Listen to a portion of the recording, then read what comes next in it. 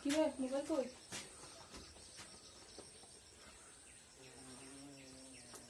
গোলা গোলা কুকুরটা বানিয়েছে নাকি দেবতা নিজে এই জন্য দেবতা